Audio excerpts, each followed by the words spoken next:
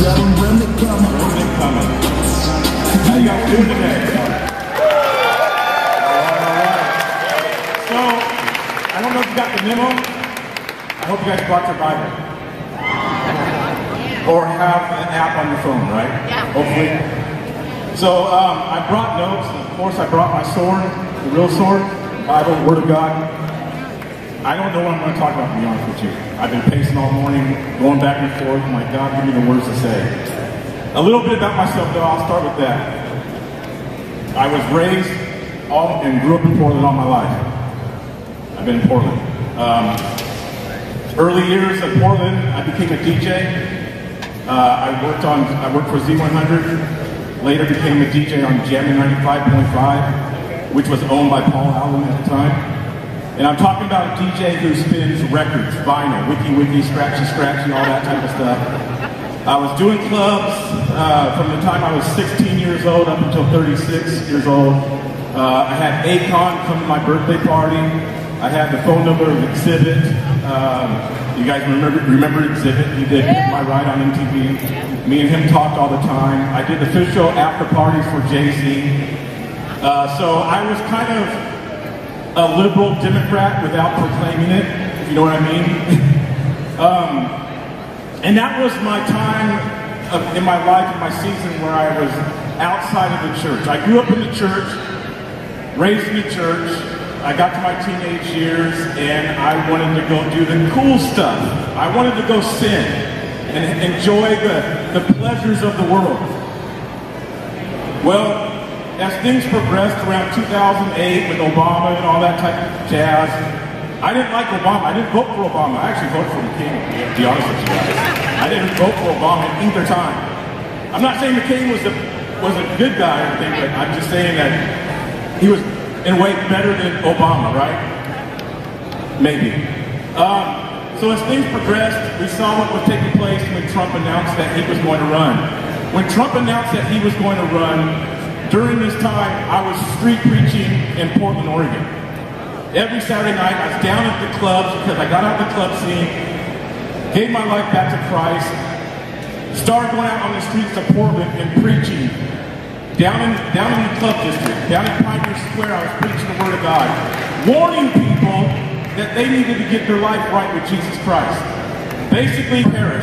You know, hellfire and brimstone type of preaching. So as I'm downtown Portland, going up to Seattle at times, going to Mardi Gras, Fat Tuesday, going around the nation, preaching the Word of God, Trump starts to run. Announces that he's going to run. So the night that Trump won back in 2016, me and a couple buddies decided to go downtown. Right after he won the election. We were celebrating and we wanted to preach because we knew that people were rioting in downtown Portland. If you guys remember back in 2016, they started rioting in downtown Portland and caused a million dollars of damage. They marched on I-84 going eastbound. They blocked that all down. They marched down Broadway. We were in the midst of that preaching the word of God with megaphones and banners. So, we fast forward to that. I've been involved in the Patriot movement since then because I voted for Trump the very first time. I didn't jump on the Trump bandwagon, you know, halfway through. I was, I was Team Trump from get-go. So through the years, I was, I was at Berkeley for the big Berkeley events when Milo was down there and all that stuff happened in Berkeley. It was a big riot in Berkeley. I was down there for that with some of the people of the Patriot movement. I've been to Mar-a-Lago outside filming there. I've been to DC because part of Blexit. So Trump invited the Blexit back to the White House. So I was actually at the White House um, on the South Lawn the day, or excuse me, the weekend after Trump got out of the hospital from having that virus. You guys remember he had the virus? He had his, uh, he had a rally for Blexit. I was there along with a lot of other people. I was at both the Million MAGA Marches. And just so you guys know, to be honest with you guys, I am a true insurrectionist. So I was at Jason also, there's footage on there as well. But what I want to talk about with all that said is the deception that comes along with this. There's a lot of stuff within the Patriot movement and within our world if we watch things that are happening in the world especially, with the embracing of LGBTQ, with the stuff that happens with our babies, 6 million, 60 million babies, millions of babies are slaughtered, murdered. And the government is behind it. The government is behind it. So we have, within our, even in our, in our patriot movement, unfortunately, we have delusions. Because we've gone from saying God, country, family, or God, family, country, we've gone to politics first, and God maybe second. Because there's even a lot of patriots, to be honest with you guys, there's a lot of patriots that don't even serve God. They don't even believe in God. And that's just a fact. That's facts. That's truth. So, if we're going to make a stand and we want things to change in America, which I have my personal beliefs in that, because of basically what the Word of God says, I stand more on the Word of God than what, what media says or what we say. I stand more on the Word of God. And I see the writing on the wall. And I'm not trying to be here to be a discouragement, but we have to have some truth about what's taking place. Our nation, unfortunately, we don't have the blessing in the hand of God upon us anymore. We don't. And I know that's a hard fact, that's a hard truth to hear, because everybody here today mostly is going to speak about the hope and, and faith and just believing and keep going and we're in the fight, which I get. I'm in the fight as well. I'm in the fight. But my fight that we need to talk about is Jesus Christ. That's the fight. That's the real fight. If we really care about what's taking place in our nation, we need to be talking about people and trusting in the Lord and Savior Jesus Christ. Not what Trump's a good person, but we can't be like rah rah Trump and God and Jesus is second. It needs to be flipped around. That's where the focus needs to be. The focus needs to be Jesus Jesus, Jesus. We have a pledge of, pledge of allegiance. We have, we believe in God, but how much do we really believe in God? How much faith do we really have in God? How much faith do we really have in Jesus Christ? That's the question. We're claiming patriotism. We're claiming Jesus. We're claiming God. But how much do we have? Have we died to ourselves in order to serve Him? To walk with Him daily? To deny our flesh? That's the question. That's how we what we have to examine within our own selves. So then you come to this, this place, this crossroads where you're proclaiming you're on Team Trump, you're talking about Jesus, and then you have your family dynamic. The family gets involved because the more you're empowered by the Spirit of Christ, the more bolder you get, the more you want to go out and preach and teach and talk to people and share the gospel with people and let people know that, that the condition that they're in sends them to the lake of fire. That's fact. That's Bible. That's Bible. It sends them to the lake of fire if they are in sin, living actively in sin. So then you have family that rises up against you. Well, you can't say that. That's hurting my feelings. You're hurting God's feelings. You're hurting your Creator's feelings. And my Creator, my Jesus, my God comes before your feelings that are sensitive. So I want to read a scripture to you guys because part of this stuff that's taking place, a couple scriptures, part of this stuff that's taking place is God allowing delusions over our land and especially what's happening in the Middle East right now. Because what's happening in the Middle East, you guys got to pay attention to this really closely. Some, some people are believing it's a Psalms 83 war that's taking place. When you start to see these nations rise up against Israel, we need to pay attention. And obviously they're trying to do that with America. I've never in my life seen people in the streets fighting over Israel and, and Palestinians. In America, I've never seen that.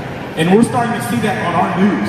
People are fighting, Palestinians are fighting, the Muslims are fighting the Israelis, which is a whole holy war that the media don't even want to talk about. They don't want to get to the, the, the meat of it about this stuff is biblical prophecy that's happening in Israel. But Israel is under a strong illusion, delusion. They're blinded just like America and the leaders are blinded. So in Isaiah 66, 4, God says, I will I also will choose their delusions. I will bring their fears upon them. Because when I called, none did answer. When I spake, they did not hear. But they did evil before my eyes and chose that in which I delight not. So they were, they, these people choose stuff. They choose not to serve God, but then they want the blessings of God. It can't go both ways. It cannot go both ways. We have to choose. But one big verse I want, I want to say that definitely can fit for the Patriot movement, for our lives, and dealing with family. Again, we have to stand on one side or the other. We have to draw the line in the sand. Romans 1, 18 through 32. For the wrath of God, and here's the trick about this. Most believers, if you're Christians in here, we love to talk about the love of God. We don't like to talk about the wrath. We don't like to talk about God's, uh, the consequences that God will bring. The wrath of God is revealed from heaven against all ungodliness and unrighteousness of men, who hold not truth in unrighteousness, who hold the truth in unrighteousness because that which may be known of God is manifested in them, for God has showed it unto them. For the invisible things of him from the creation of the world are clearly seen, being understood by the things that are made, even his eternal power and Godhead, so that there are no, without so that they are without excuse. Because that when they knew God, they glorified him not as God, neither were thankful, but became vain in their imaginations and their foolish, foolish heart was deceived. Professing to be wise, they became fools and changed the glory of the uncorruptible God into an image made like to corruptible man, and to birds and four-footed beasts, and creeping things. Wherefore God also gave them up to uncleanness through the lust of their own hearts to dishonor their bodies between themselves. They dishonor their bodies. The LGBTQ, they dishonor their bodies. And that is a big agenda that is being pushed in our society and in the world. In fact, in 2011, Obama signed something that he said in order to give aid to other countries, they had to get on board with the LGBTQ stuff. Obama did that. Did God use Obama? Yes, because it's all part of the plan. Just like he's using, just like he used Trump, and just like he's using Biden. It's all part of God's purpose, all part of God's plan. So the question is, well, what do we do? Right? The question is, well, what do we do about this stuff that's happening in our society? The thing I can tell you what to do is open up the Bible, take some time, get with God, repent if you need to repent, and as the Bible says, choose this day whom you're going to serve. Amen, you guys. Thank you for the time.